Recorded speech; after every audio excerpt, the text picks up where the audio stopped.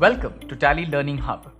I'm Guru and I'm here to help you learn how to use Tally ERP9. Through these short videos, you will know how Tally ERP9 can make your accounting, inventory management and compliance simpler and quicker. In this session, you will learn how to download, install and activate Tally ERP9. To begin with, you need to go to the Tally website www.tallysolutions.com. Click on Downloads, scroll down, click Install Now, upon which a setup file gets downloaded onto your system.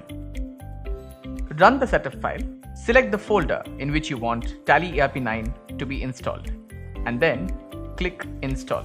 And that's it. Installing is just that simple. Click Done. The next step is to activate your license. And now here's a tip for you.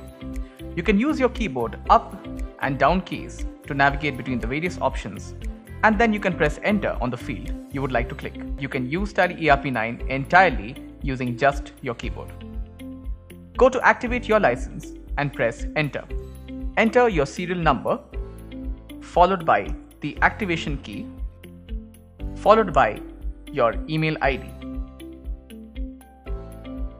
In case you are taking a free trial, your serial number and activation key will be sent to your email ID given at the time of registering for the free trial. And then you will receive a message that the license has been activated.